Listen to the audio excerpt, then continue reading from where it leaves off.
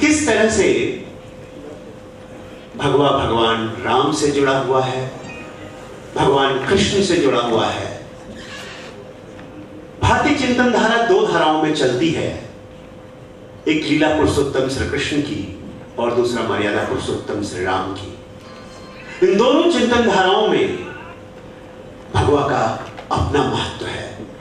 जैसे बताएगा भगवा जो है, सूर्योदय की लाली किंग ऑफ़ रेड रेड है at the time of sunrise और वो तिमिर यानी रात्रि, जैसे कि बोल सकते हैं कि रात का अंत होता है सुबह की लाली से। तो भगवा उस कलर से भी रिलेटेड है। भगवा कलर में बहुत कुछ है में है। हाँ ठीक है, कुछ का साथ इसका लिंक है, क्योंकि हम डॉक्टर के वी हेडवर्क के लाइफ बायोग्राफी पे ही फ़िल्म बना रहे हैं तो ये बायोपिक है। तो of course R S S related है but it will be a revolution toward peace later on एक जागरूकता लाएगी रिन्यू करेगी यूथ को एक उनका जो यूथफुलनेस का एक रिन्यूअल होगी ये फ़िल्म इस तरीके से भगवा एक टाइटल रखा गया जो कि गेरुआ कलर से रिलेटेड है। So the title definitely is proper तरह से अभी आपने देखा प्रार्थना वर्ल्ड में फ़र्स्ट टाइम अभी इसको म्यूजिकली हम लोगों ने बनाया है। अभी तक ये नॉन म्यूजिकली हुआ करता था, अगर आप लोगों ने यूट्यूब में कभी सर्च किया this is the first time made like a musically kind of इसको हमने बनाया है। और इसी तरीके से सिचुएशनल सॉन्ग्स होंगे, कुछ बैकग्राउंड सॉन्ग्स होंगे, पर ऐसा नहीं होगा कि बहुत ही कमर्शियल तड़का होगा। बहुत ही पीसफुल इसके गाने होंगे, बहुत ही सोलफुल इसके गाने होंगे, अच्छी मेलोडी होगी।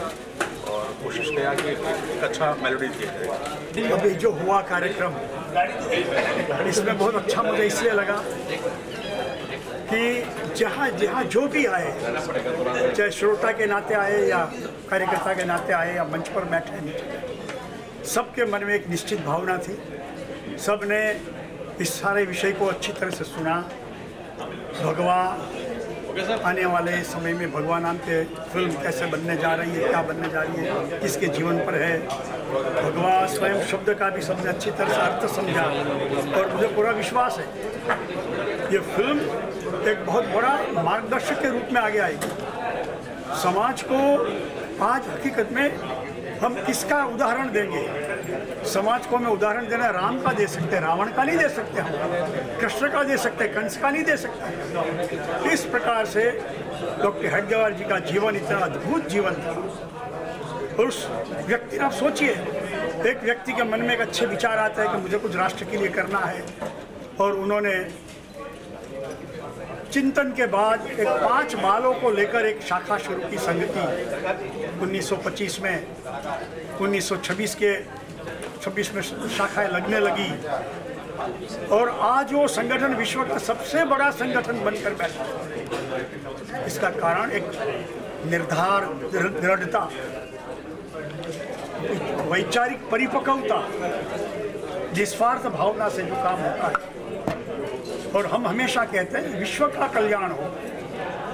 हम कभी ये नहीं कहते, मेरा कल्याण हो। जहाँ व्यक्ति का महत्व नहीं है, वैचारिक महत्व है, ध्येय का महत्व है। और वो डॉक्टर हेडगेवार जी का जीवन था। उन्होंने वो तो सिर्फ़ पंद्रह साल ही जिए संघ संघ शुरू करने के बाद।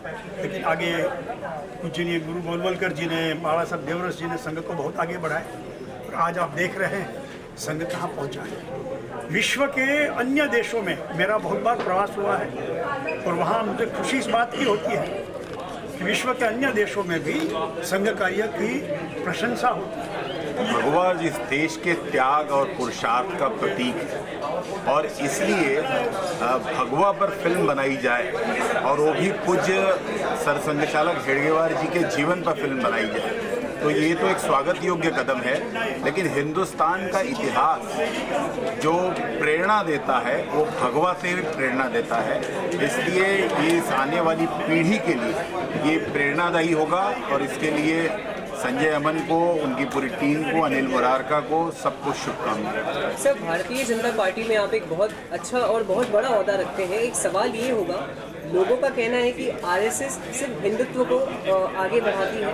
आखिर क्या ये सत्य है या ये अनूठा अनूठा झूठ है जो लोग बढ़ावा दे रहे हैं? देखिए, भारतीयता इस बात को बढ़ाने के लिए, इस बात को पूरी शिद्दत के साथ रखने के लिए राष्ट्रीय स्वयंसेवक संघ कार्य कर रहा है और इसके लिए इस देश की राष्ट्रीयता ही हिंदुत्व है और इसके लिए हिंदुत्व को और पुख्ता बनाने के लिए, भारतीयता को और पुरजोर तरीके से रखने के लिए संघ अपने तय प्रयास कर रहा है और इसके लिए संघ का, संघ को साधुवाद दिया जाना चाहिए। बात कर रहे हैं हमारे देश के, हिंदुस्तान उसको एक अलग नज़रिया ना दें अपन it's not about RSS it's not about Congress it's not about Shiv Sena भगवा एक रंग है।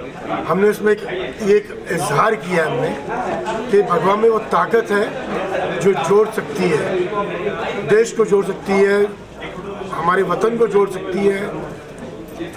It's a global movement through the world let's talk on दो लाइन्स थिंग ऑन दो lines let's not talk about only R S S और BJP at last आज आप भगवा की बात करें शिवसेना का कलर क्या है? जो भगवा ही है। हमने उस, उसको इस तरीके से लिया है कि हिंदुस्तान को जोड़ना है। That's only thought behind it भगवा माना कि भगवा के अंदर एक ताकत है जो अखंड भारत को जन्म दे सकती है। भगवा इस चित्रपट के द्वारा या इस मूवी के द्वारा आप समाज को क्या संदेश देना चाहते हैं? जी। भाईचारा अटूट भाईचारा। हिंदू मुस्लिम सिख ईसाई ये खाली हम सोचे नहीं, इसको अमल करें। बहुत ज़रूरी हो गया है। कोई कुछ भी प्रचार करता हो, मैं कहता हूँ, हर धर्म में हम सब भाई हैं इसको एक अलग नज़रिया ना दें। कोशिश करें हम कि इसको एक इस तरीके से इस मुहिम को उठाएँ कि यस, हम हिंदुस्तान की बात कर रहे हैं और किसी और की नहीं। सर, एक और सवाल मैं आपसे पूछना चाहूँगा कि जो युवा पीढ़ी है, कहा जाता है कि हमारे देश का भविष्य है। कहीं ना कहीं किसी और रास्ते पे वो चलती जा रही है तो इस मूवी के माध्यम से और अपने आंतरिक आत्मा के माध्यम से आप उनको क्या संदेश देना चाहेंगे? कोशिश करना हमारा काम है। आपने बिल्कुल दुरुस्त कहा, युवा पीढ़ी एक बहुत बड़ी ताकत है। Youth is the future of our country इसको अगर आज प्रॉपर राहत दी जाए तो देश पता नहीं कहाँ पहुँचेगा हम भी इस मुद्दे को लेके आगे बढ़ रहे हैं। संजय जी, आप इस पे कुछ विशेष कहना चाहेंगे? बी वेरी हैप्पी मैं सर की बात को कंटिन्यू करता हूँ। जैसे सवाल किया कि युवा पीढ़ी अलग राह में जा रहा है। भगवा में वो शक्ति है। भगवा अंत है, निराकार है। भगवा एक सबको एक सूत्र में बांधने का काम करता है। भगवा को आप किसी धर्म या जाति से न जोड़ के देखें। और ये जो एक हमारा प्रयास है एक पूरा एक एक अंतर्राष्ट्रीय स्तर पे एक हमारा प्रयास है कि विश्व में शांति कायम हो और सब पे भाईचारा और एकता बनी और संजय जी भगवा की बात करते हैं तो स्टार कास्ट कौन कौन रहेगा और कब तक शूट चालू होने वाला है और कहाँ लोकेशन होने वाला है? जी। जैसा आपने स्टार का और शूटिंग की बात की है आज हमने फ़िल्म को लॉन्च किया है। हमारा सिक्स मंथ हमारा प्री प्रोडक्शन वर्क चलेगा। इस प्री प्रोडक्शन वर्क में हमारा होमवर्क भी होगा पूरा हमारी स्क्रिप्टिंग होगी हमारा लोकेशन हंटिंग होगा। हम अपने स्टार कास्ट को फाइनल करेंगे। देन जनवरी फ़र्स्ट वीक में हम पूरी फ़िल्म शूट करेंगे। तीन से चार सेटों में पूरी पिक्चर को हम शूट करेंगे? कोई माइंड में है अभी एक्टर ऐसा कोई है कि सर, कोई- कोई माइंड में ऐसा एक्टर है जिसको revealing it. It's too premature. But yeah, कोई ना कोई बड़े किरदार ज़रूर होंगे बॉलीवुड के। वो आपको एश्योरेंस देते हैं पक्का। और फ़िल्म के अंदर क्या होगा? मतलब ज़्यादातर देखा तो आरएसएस के फुटेज दिखाए गए हैं। मतलब क्या होगा पिक्चर के अंदर? क्या दिखाने की कोशिश करेंगे? ये ये आपको बताऊँ आपने अभी जो देखा वो हमारी प्रार्थना है। जो आपने देखा, प्रार्थना के अंदर हमने कुछ फुटेज जो हमने स्टार्टिंग में वो सब डाले हुए हैं कि सिर्फ़ प्रार्थना को, गाने को ऑडियो को दिखाने के लिए हमने वीडियो को वीडियो का इस्तेमाल किया है। ये फ़िल्म जो है बहुत ही साफ़ सुथरी बहुत ही अच्छी फ़िल्म होगी।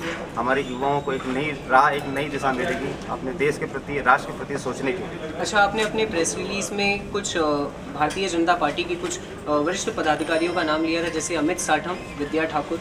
आशीष सलार जो कि मुंबई बीजेपी के अध्यक्ष हैं। आखिर ऐसी क्या वजह रही कि वे कार्यक्रम में ना आ पाए ऐसा है बारिश बहुत हो रही है। और आज हमारे भैयू जी महाराज भी चीफ गेस्ट हैं। भैयू जी महाराज की अचानक तबीयत खराब हुई, उन्होंने आठ बजे की फ़्लाइट ली। तबीयत ठीक ना होने की आज की फ़्लाइट कैंसिल फिर एक बजे की फ़्लाइट थी फिर भी उनकी तबीयत ठीक नहीं हुई उन्होंने भी उसको एक बजे की फ़्लाइट कैंसिल कराई। और बारिश इतनी है कि इसकी वजह से हम तो सबको आमंत्रित करते अंततः एक आखिरी सवाल आपसे ये होगा कि इस पूरे प्रेस कॉन्फ्रेंस के द्वारा आप अपने मूवी के लिए पूरे हमारे व्यूअर्स को क्या संदेश देना चाहेंगे? मैं यही संदेश देना चाहूँगा कि कौवा देखें और अति शीघ्र ये पर्दे पर रिलीज़ होगा जो एक राष्ट्र को एक सूत्र में बांधने का प्रयास करेंगे कब रिलीज़ कर रहे हैं कब तक मिलेगा? दो हज़ार अठारह उन्नीस में रिलीज़ कर देंगे फ़िल्म को।